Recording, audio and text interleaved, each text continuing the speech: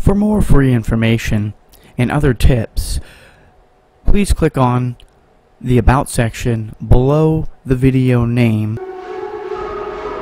Hello everyone and welcome to Mr. Healer.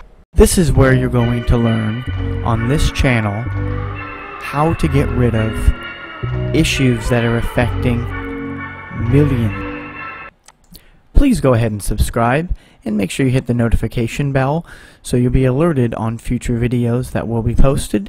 And go ahead and give this video a like. Please also leave a comment with your feedback below this video. It would be greatly appreciated as well as sharing this video. Thank you so much everyone. What your doctor wants to tell you but can't the herpes simplex virus, whether it's one or HSV2. Both HSV1 and HSV2 can be curable, not incurable as your doctor has to tell you and is required to tell you. So you may now be wondering why in the heck you can't be told the truth when you're paying for a service to go to your doctor to find out the answers you want to know. So you may be laughing right now thinking, ha ha ha, why is this not true? Well, let me go ahead and tell you. So, go ahead and watch this short clip and this is going to be uh, a little over a minute long and it's going to detail a very short history of Western medicine and why pretty much most doctors are smiling when you leave. What's in the goodie bag when you head out of the office. And I'm also going to tell you how you're going to heal, what to do, and how you're going to succeed. Let's go ahead medical industry was accomplished by the takeover of the medical schools.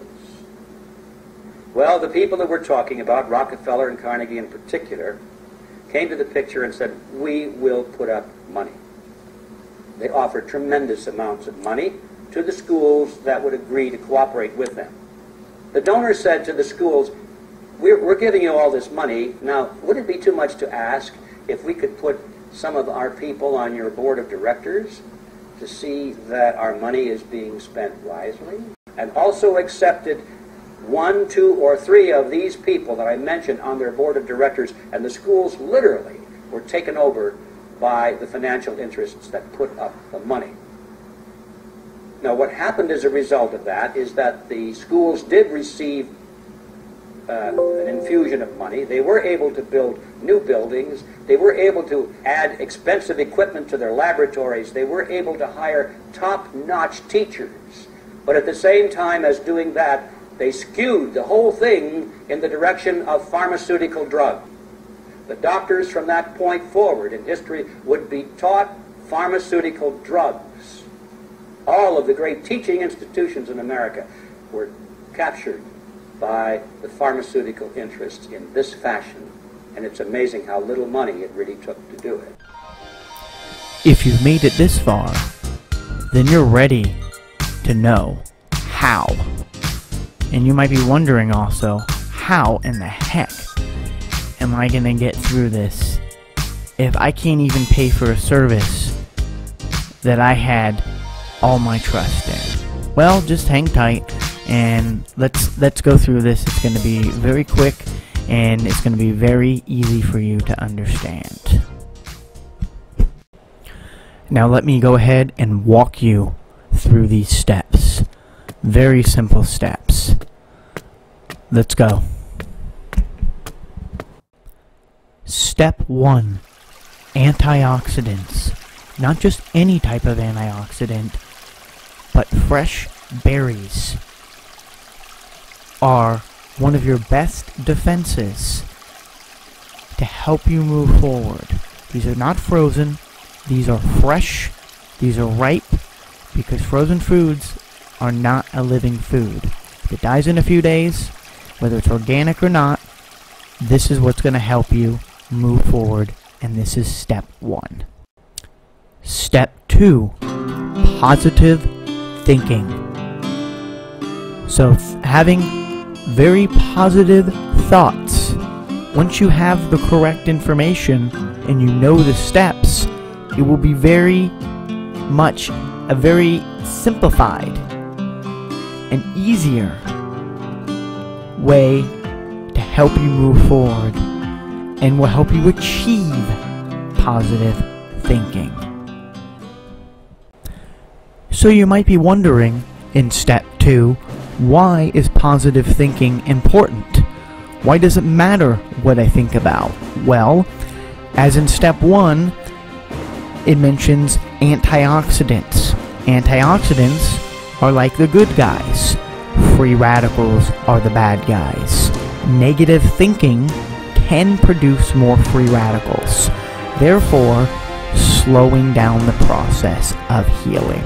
The more free radical damage you have, the longer it will take, and the more damage the body has to actually heal. So, to avoid this, you definitely want to have positive thinking. So, hang tight.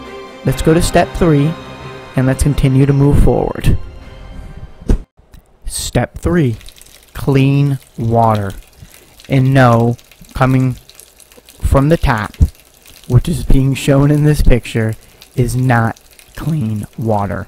Unless there is a system that is filtrating this particular water, then that would be okay. Bottled water is not clean water. Anything that is reverse osmosis, filtration, you can also add minerals back. If you use, let's say, for example, a 10-stage system and you already maybe have one of those in your home, just add some minerals back into it because it does strip the water. Uh, distilled water uh, will also work. And anything that is from a fresh coconut, typically not something store-bought that sits on the shelf that has chemicals. A fresh coconut would be the most ideal depending on where you live, if you can actually have access to that. Uh, a young coconut is, uh, in my opinion, the best source of water on the planet. Um, you can also use just one coconut a day and regular filtrate filtration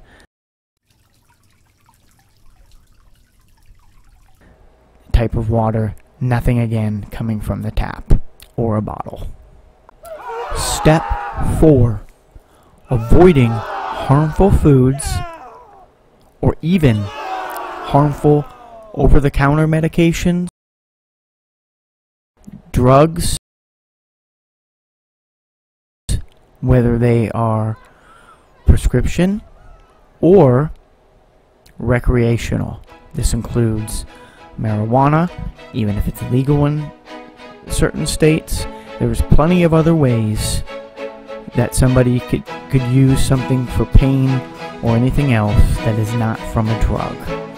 And whether you disagree with me or not, all of these will affect the healing process of the human body.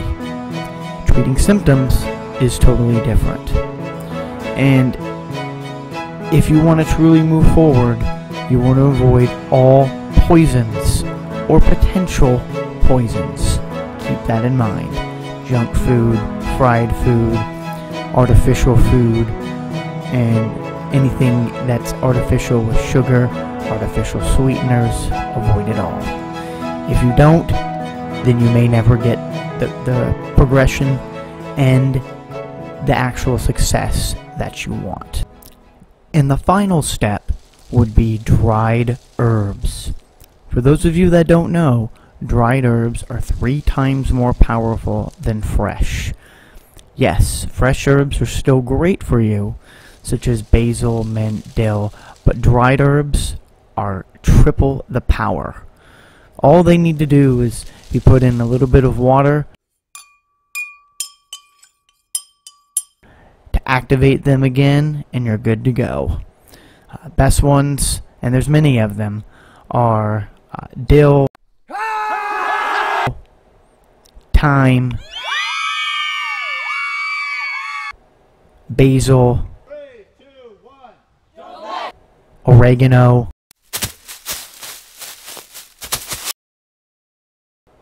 you could even get into cloves,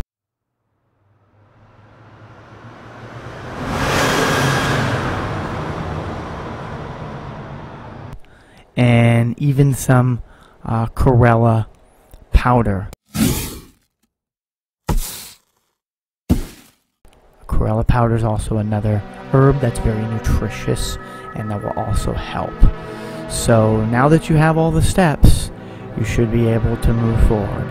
And of course, you can always add things and and put a few more things in here that aren't mentioned in this video, but this is the good gist of it and a good summary of what you need to do. Thank you so much, folks. Please go ahead and share, like this video, and put your comments below. Thank you.